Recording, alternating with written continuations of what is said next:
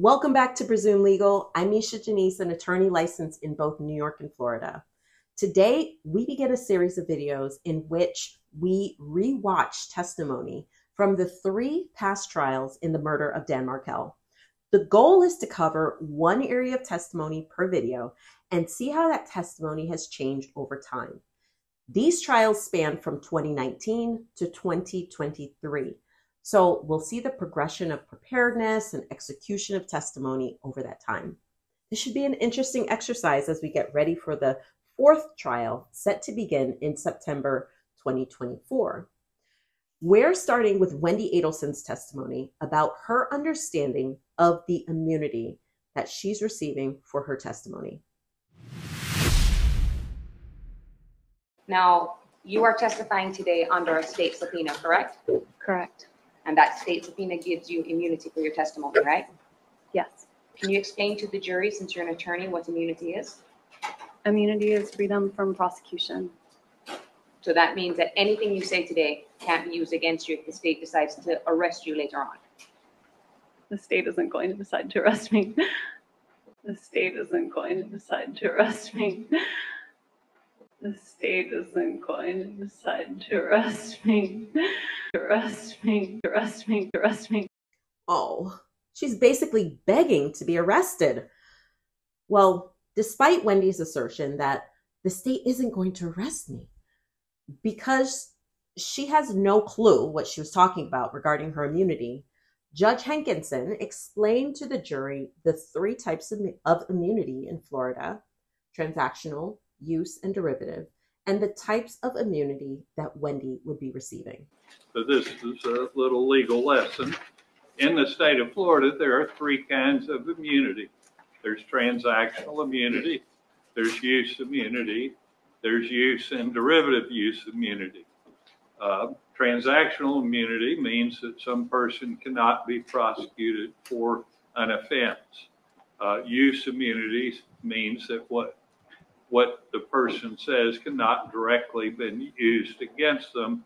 Use and derivative use immunity means that what they say cannot be used against them, nor can it be used to develop leads to gather evidence against them. Uh, the type of immunity that Ms. Adelson has received, because I have been the one that uh, explained it to her, is use and derivative use immunity. In other words, what she says today cannot be used directly against it, nor can it be used to develop leads against her. She does not have transactional immunity. I mean, she could be prosecuted for the crimes involved, but what she said cannot be used against her, nor used for any leads to develop information. So hopefully that answers the juror's question that asks a question. And are you here today pursuant to a state subpoena? Yes, I am. And do all state subpoenas confer immunity? I don't know if all state subpoenas confer immunity, but this one does. Okay, and do you believe that your subpoena is special or different from other state subpoenas? I don't believe it's special or different, so I suppose they all carry immunity. All right, and does the immunity conferred upon you by the subpoena mean that you can never be prosecuted associated with this case? That's right. That's what you think it means? That's what I think it means. Okay. And do you think, isn't it true that it's use and derivative use immunity? Do you agree with that? Yes, Okay, but not complete immunity from prosecution. Do you agree with that? That's different than what you just asked before. So I'm sorry, can you repeat the question? All right, so what I'm trying to allow the jury to understand is what sort of immunity you have. What is your understanding of what it means for you to have immunity pursuant to the state subpoena? So I have derivative and use immunity. And so in the future, a prosecutor couldn't use what I say here today against me. Correct. But you could be prosecuted. You just nothing you said here today could be used against you in that prosecution. Do you agree with that? I suppose so. Okay.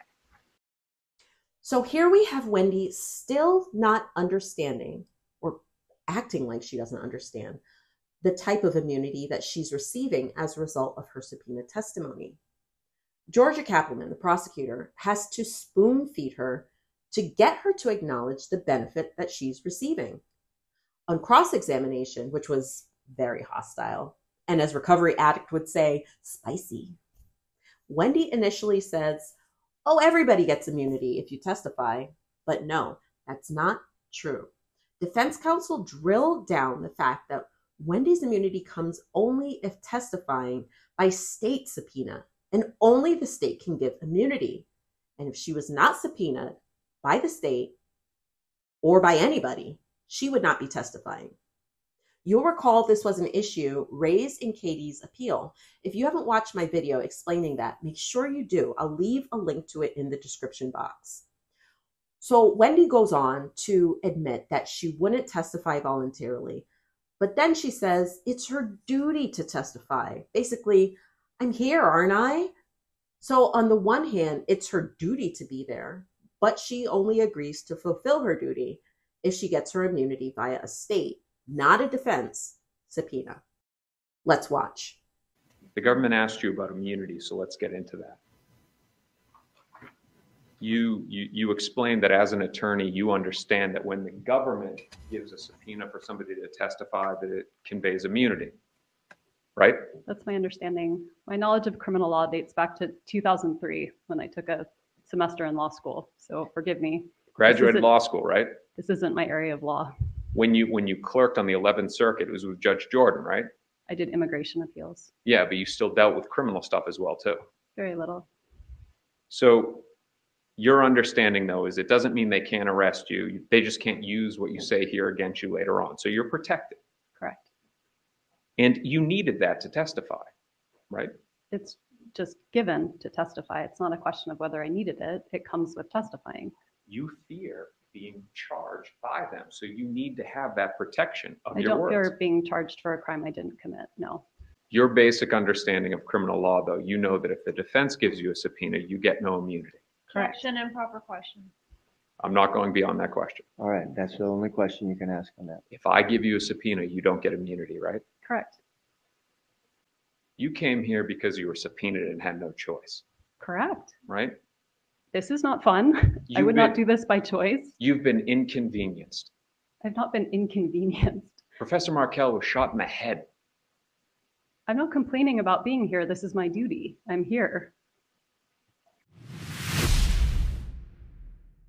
So, in an attempt not to confuse the jury, this time around, Georgia won't bother asking Wendi for her floozy explanation of her understanding of the immunity she's getting. There's too much testimony to get to.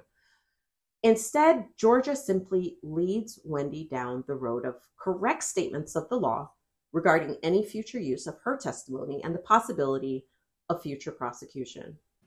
And are you here today pursuant to a subpoena? Yes, ma'am.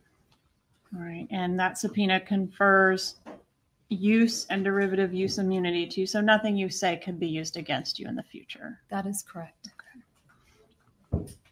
That doesn't mean you have full immunity from prosecution, but nothing you say here and nothing derived from it could be used in that prosecution. Is that your understanding? That is my understanding. So meek and mild Wendi is finally not confused, not seeking clarification about the question. She's simply on the same page about the status of her immunity and how her testimony could impact her in the future. So from 2019 to 2023, she's finally got it.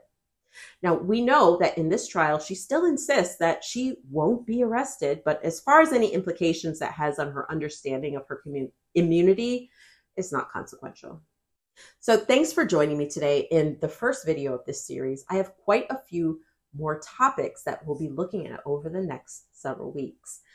The next video in this series will be covering Wendi's testimony about changing the boys' names. If you have suggestions of topics that were covered in each of the trials that you'd like to see back to back, let me know in the comments. If it's not already on my to do list, I'll consider covering it. Other than that, thank you for liking this video and subscribing to the channel. Until the next drop, peace.